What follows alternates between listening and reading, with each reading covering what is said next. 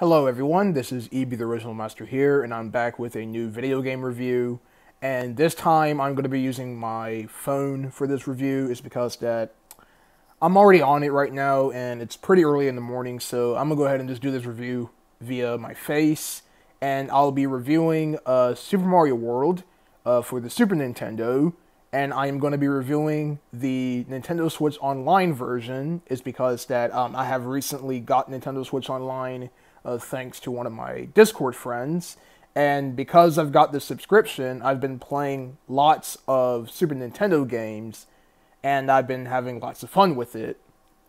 So, uh, Super Mario World is the launch title of the Super Nintendo released back in 1991 and it is um, the fourth Mario game in the mainline series of, of games.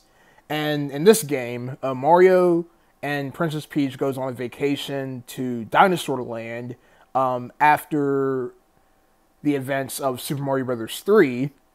And uh, Luigi joins along in the adventure, and it turns out that Bowser had kidnapped Princess Peach, and it is up to Mario and Luigi to rescue Peach with the help of his new friend Yoshi, who was trapped in an egg by Bowser, and Bowser informs Yoshi. Oh, I'm sorry.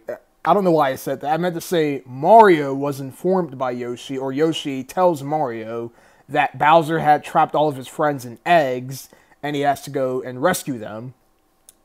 So, some of the cool parts about Super Mario World are the levels. The levels are very vibrant and colorful, and the level design is pretty unique in this game. Now, when I played through Super Mario World, I didn't go for all of the secret exits, is because this is my first time playing Super Mario World.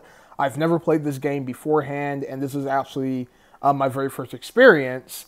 So I decided to play the game normally. I have to say, for an early Super Mario title, this was actually a pretty easy Mario game because I was actually hoping that um, because this was like an older Mario game, there will be some harder elements into it. But I gotta say, this game really isn't as hard as I was hoping it for it to be. So yeah, some of the levels were pretty unique, such as um, Yoshi's Island, uh, Donut Plains, Vanilla Dome. Uh, you also got Chocolate. I think it's called Chocolate Island or something. But yeah, those are some of the worlds in the game and Super Mario World.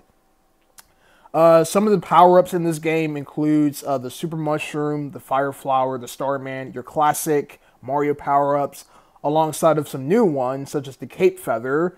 Now, I never really utilized the Cape Feather all that much, just because I've only used it for like um, spin attacking enemies to defeat them. I never really used it to fly around the level. Is because that I just never did it. So yeah, um, another cool thing about this game are the boss battles, which are against the Koopalings, and unlike their battles in Super Mario Bros. 3, uh, the Koopalings don't use magic wands to, to send magic to attack Mario, but instead they basically charge after Mario, or they do attacks like breathing fire, uh, which is uh, Ludwig's battle, you have Lemmy and Wendy's battle where they pop out of these warp pipes. So you have to like step on them while these fake Lemmys and Wendy's pop out from the pipes. You have to jump on the real one to defeat them. So, yeah, overall, Super Mario World was a pretty solid game. It was actually a really fun game. I really enjoyed it. Um, the levels were unique. The, the new power ups were pretty cool. And the worlds are very awesome. So if I have to give this game a rating, I'll give Super Mario World a 9 out of 10. It was a pretty fun game. Uh, I am not going to go and 100% it, is because that, that wasn't my priority. My priority was to at least beat the game, and I actually did beat it. I actually beat in the final boss against Bowser. It took me a few tries, but I finally got in the hang of it. Alright, so that is my review on Super Mario World. Hope you guys enjoyed it. I had fun with this game. And I'll see you guys next time on my next review that I'll be doing in the future, which is going to be on Donkey Kong Country Tropical Freeze. So be on the lookout for that review later in this year. And yeah, so thank you guys for watching, and I'll see you guys next time with another video game review.